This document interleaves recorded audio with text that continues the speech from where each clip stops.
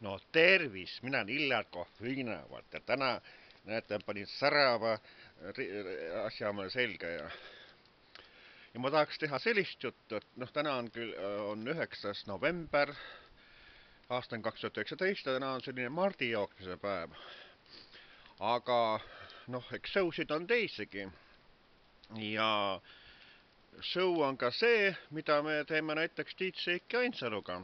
nii et kui te soovite esinema kutsuda, kas diskori rollis või, või, või, siis õhtujuhi rollis või, või pulmaisa rollis või mida iganes, siis võtke ühendust Tiit Seekiga. tema on selline mitmekülgne inimene, kes korraldab pidusid, teeb show'd, esineb, kirjutab laulusõnu.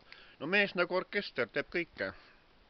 ja tema tiimist saab kutsuda näiteks Illar Kohvieg mind esinema, meil on mitmed laulud.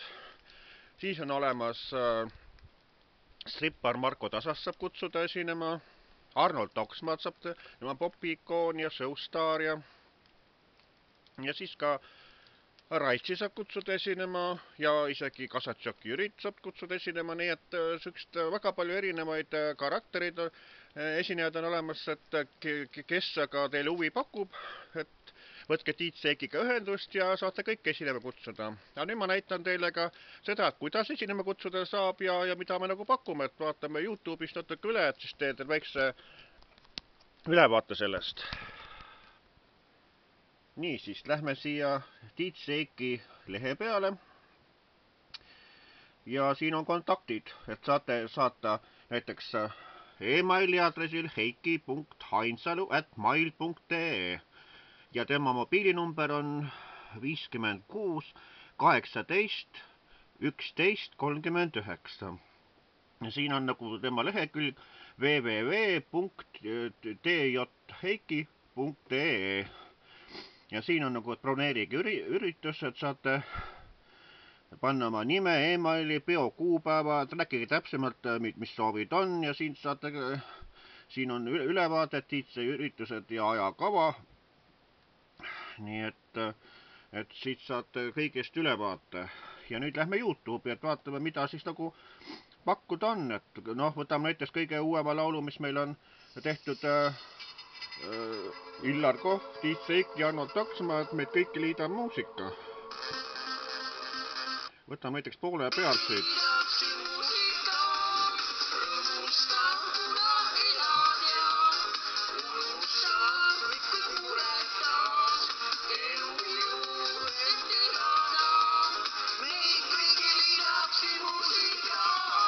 nii, lähme edasi Lätti. ja võtame siit poole pealt jälle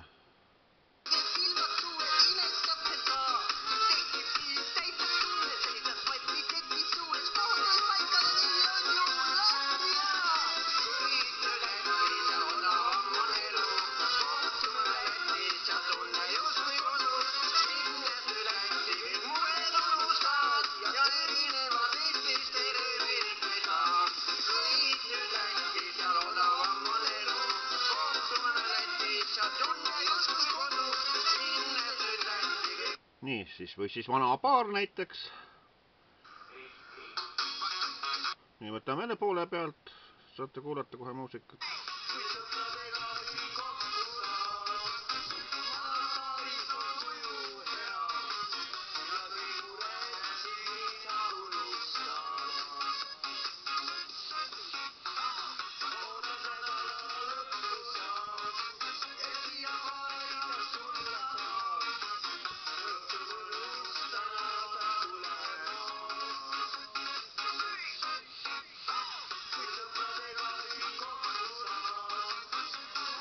Nii, siis minul on näiteks Aiamaja laul, kui keegi soovib seda kuulata.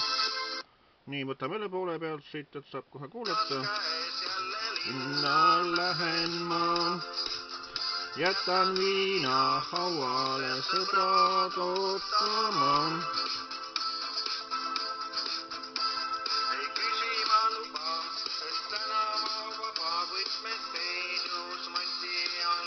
nii, lähme edasi Viinamaa hümni juurde.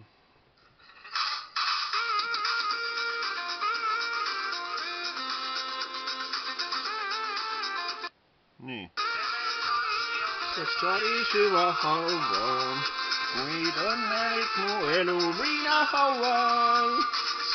mul suur kivi ja vahva talu, Taliku talus toodeti ka õlut. Isus asi korraldab kanu matku, ainurikas vahva abimees ja külarahval. Nos käinud konne viski, võrguste nohutud üsna tihti. Kiisu nimes selfie. nii, võtame Suvikuum, see on üks väga lahe lugu meil. võtame poole pealt jälle, siis on kohe kuulda. kuum see haarab meid kaasa, millesime koos rannaliival. eks me peidame sisse päikse ees, käes.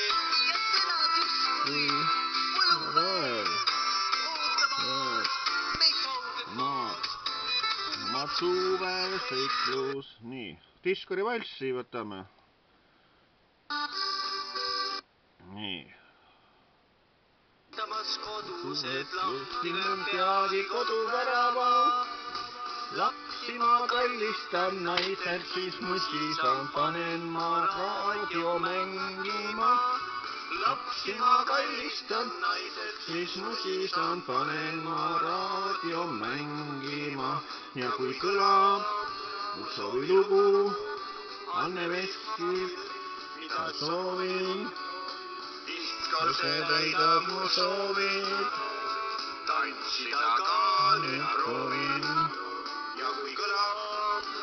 soovilugu, Anne Veskil, mida soovin. issand see täidab mu soovid. tantsida ka nüüd proovin. tervitab Hillel koht Maarja ja Gustav Hingele soovilo kätte saab nii, siis võtame näiteks siin vaat me käisime seal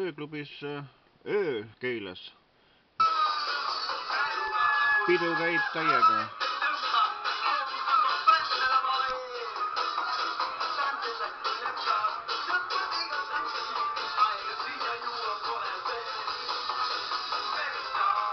Already looks sick. Let's it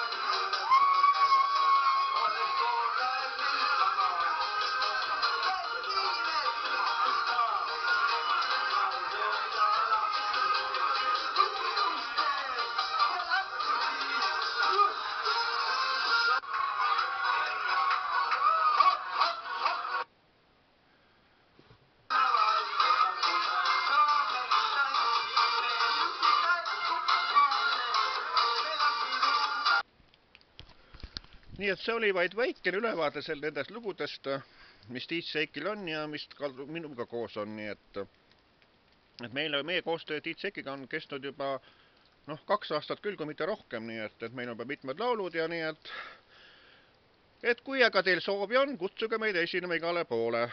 Nii et kõige rohkem Tiit Seikit ennast, tema jaoks on see nagu töö, minu jaoks on see nagu hobi, et kus nagu, kuhu nagu mind nagu soovitakse just, et eks ma siis tulen ka nagu kaasa, aga minu, mina olen Eestimaa piires, aga Seiki nagu võib välismaal igale poole minna, et tema nagu selliseid, tema ära ei ütle kuskilt, et tema jaoks on see töö ja nii et soovitan kõikidel kutsuda esinema, kes ka soovi on, võtke ka ühendust ja kutsuge esinema, nii ütlen mina, Iljar Kohvina.